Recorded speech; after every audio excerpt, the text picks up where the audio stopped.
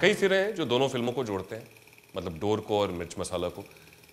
उनमें से एक थोड़ा सैड कोइंसिडेंस भी है जैसे डोर अगर एक ऑन स्क्रीन डेथ की बात करती है पूरी कहानी उसी के इर्द गिर्द घूमती है। वहीं मिर्च मसाला एक रियल लाइफ डेथ की याद भी दिलाती है। गाना नहीं सुना भी और कीर्तन सर जहाँ तक मुझे पता है जब ये फ़िल्म रिलीज़ हुई मिर्च मसाला तो स्मिता जी तब तक हमारे बीच नहीं थी। जी ये आखिरी फ़िल्म श्रीदा जी की रिलीज़ हुई अनफॉर्चुनेटली वो कंप्लीटेड फ़िल्म देख नहीं पाए। जादू दिखाएँगे कि दंग रह जाओगी।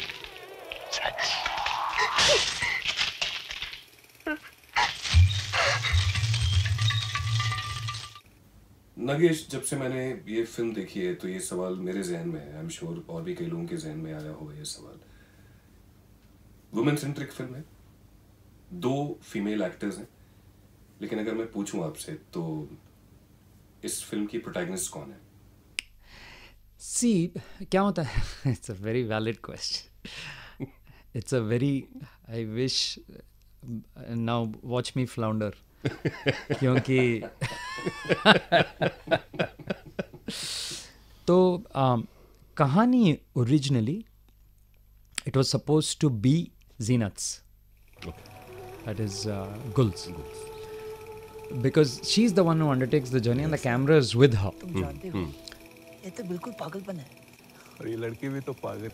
अगर कोई ये काम कर सकता है ना तो यही है। पर जब मैं कहानी लिखना शुरू किया तो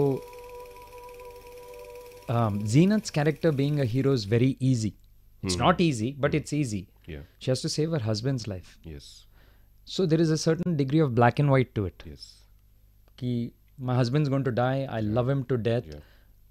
I'll do whatever it takes. There's a certain level of simplicity to it. But mira being the hero hmm. Hmm. was something that came out in the writing yes. that for no fault of hers she loses her husband. And the pivotal scene in which he says why is this being thrust on me? The original intent was Zenith, hmm. then it became Mira.